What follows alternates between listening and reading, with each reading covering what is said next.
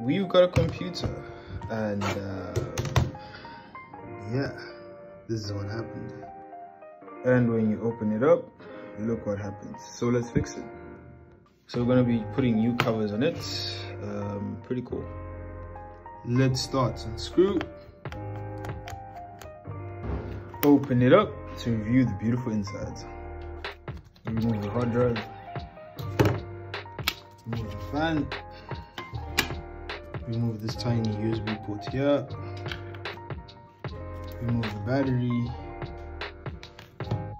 Remove the fingerprint sensor. Remove the motherboard.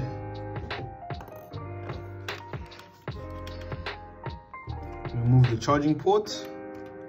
And remove the keyboard. Bottom panel to review the beautiful screen.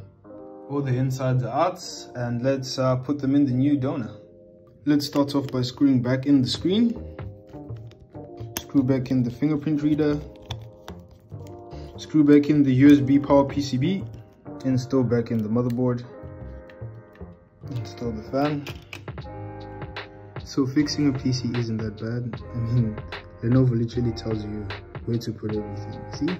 Fingerprint there, keyboard there. Thank you. Install back the battery. Everything is installed. Now let's close it up. Install the last screws.